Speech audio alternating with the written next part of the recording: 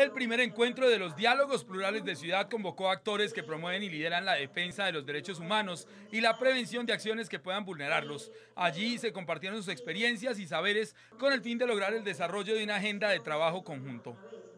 Queremos que sean los líderes, las organizaciones, quienes nos digan qué hacer y cómo hacerlo en el territorio, porque ellos son los que conocen todas estas dinámicas territoriales en la ciudad para que la administración pública pueda tomar mejores decisiones e impactar mejor a la población. La agenda del encuentro giró en torno de los desafíos de los movimientos sociales de derechos humanos, los retos y las estrategias para garantizar la protección de los líderes y lideresas, las agendas en el territorio y las territorialidades sobre esa materia y los avances en la construcción de la política pública de derechos humanos.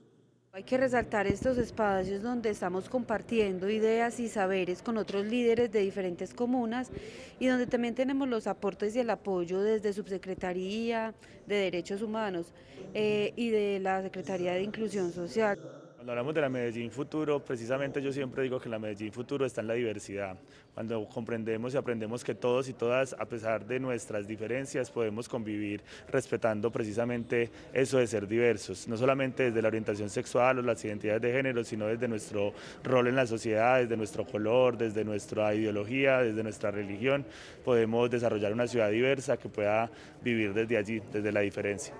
Con los diálogos plurales de ciudad se busca identificar las agendas que nacieron tiempo atrás y que siguen vigentes en aspectos como la defensa de los derechos a la vida, la libertad, la movilización, entre otros, y nuevos temas que cobran protagonismo por coyunturas contemporáneas, como la situación de los migrantes venezolanos o el derecho al ambiente sano, la calidad del aire y el territorio.